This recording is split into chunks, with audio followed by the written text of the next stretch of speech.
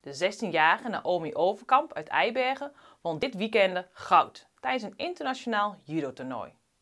Naomi Overkamp. Ja. De judoka van Eibergen. Jazeker.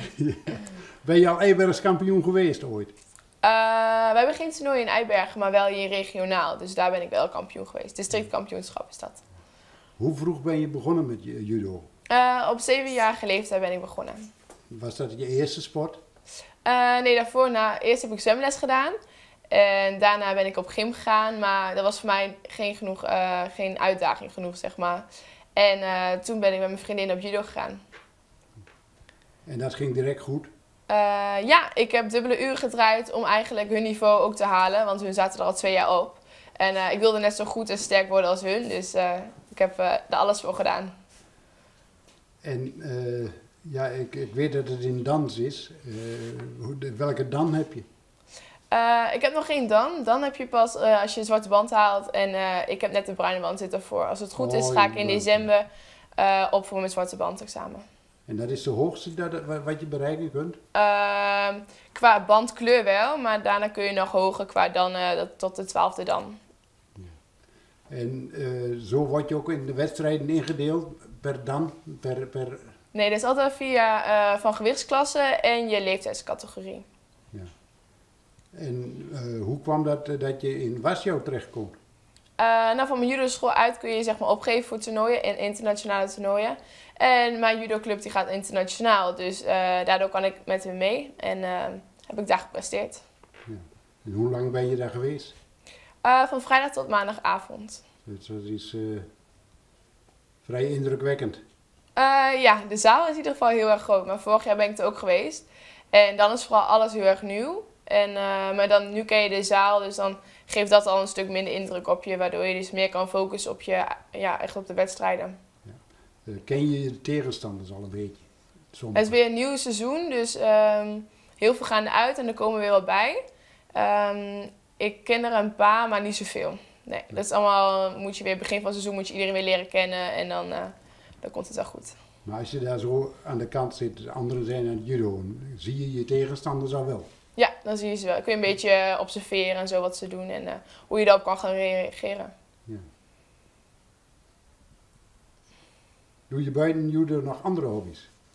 Uh, nou, niet zoveel. Ik ga naar school en uh, af en toe spreek ik af met vriendinnen en af en toe een beetje uitgaan, want dat hoort er natuurlijk bij voor je ontspanning. Ja. Um, verder ja, naar de sportschool ga ik. Maar ja, dat valt weer eigenlijk onder judo. Um, nee. Je hebt dus een echt trainingsplan? Ja, ik heb echt een uh, trainingsschema, ja.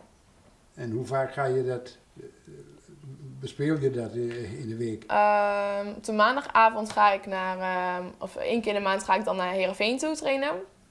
En dinsdagochtend train ik Enschede, Judosport Oost. En dan dinsdagavond ook. En dan op de dinsdagmiddag loop ik dan nog stage voor school uit bij uh, mijn trainer. En daarna sluitend ga ik dan zelf trainen. Woensdag heb ik vaak rustdag of ik ga naar de sportschool. Uh, donderdagochtend weer training. En uh, donderdagavond heb ik weer training. En dan ehm, vrijdags ga ik dan ook nog weer bij mijn eigen club ook weer trainen. Zo. Dus, en dan tussendoor, ja, sportschool. Dus de professionaliteit is niet ver weg? Nee. nee, nou ja. ja. En je, je blijft er pret in houden? In het, uh... ja, ja, zeker. Ja, soms heb je wel een keer uh, downs, maar normaal gesproken hou ik altijd wel veel plezier in. Ja. ja. Dat is wel het belangrijkste. En nu heb je een medaille. Was dat je eerste? Uh, nee, boven heb ik wel een hele bekerkast vol nog. Oh. Maar dit was wel, vind ik wel de medaille die, um, ja, ik vind hem wel, wel waarde hebben, zeg maar. Ja. Ik vind dat hij al heel erg olympisch uh, lijkt. Ja, een beetje wel. ja.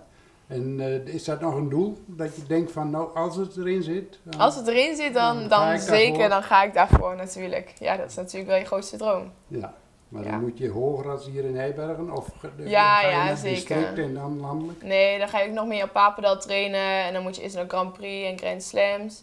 En uh, als je daar presteert, dan kom je steeds verder. Maar dan ben je al wel weer senioren, ben je wel dan. Ja, dat wil ik zeggen. Want de school komt hier niet in verdrukking door alles uh, wat je doet? Nee, daarom zit ik ook op een topsportschool. Uh, oh, Johan Cruijff College in Enschede. En eh, daardoor kan ik dan vrij vragen en dan kan ik verlofbriefjes ehm, zeg maar invullen en dan eh, krijg ik daar vrij voor. Heel mooi. En je ouders zijn er ook blij mee. Ja, mijn ouders vinden het hartstikke leuk. Ja, die, eh, die zijn er met de jaren wel ingegroeid, ja, inderdaad. Ja, ja, nou, als het goed gaat is het altijd leuk. Ja, ja, zeker. Maar als Ja. het ook minder gaat, dan zijn ze er ook voor me. Dus dat, eh, dat hoort er ook allemaal bij. Ja, ik heb hier staan, wat is je droom om te bereiken? Ja, ja, natuurlijk de, de Olympische Spelen natuurlijk. Maar ik vind het nou, eh, zou ik al heel erg blij zijn dat ik straks word geselecteerd voor de European Cups. En dat ik daar dan eigenlijk, hoop ik wel, prestatie te leveren. En dan ben voor dit seizoen ben ik wel heel erg eh, blij. Ja, en Nederlands kampioen zou ik dit jaar eh, graag willen worden. Van je leeftijdscategorie. Ja, voor mijn leeftijdscategorie en eh gewichtsklasse. Ja. Ja.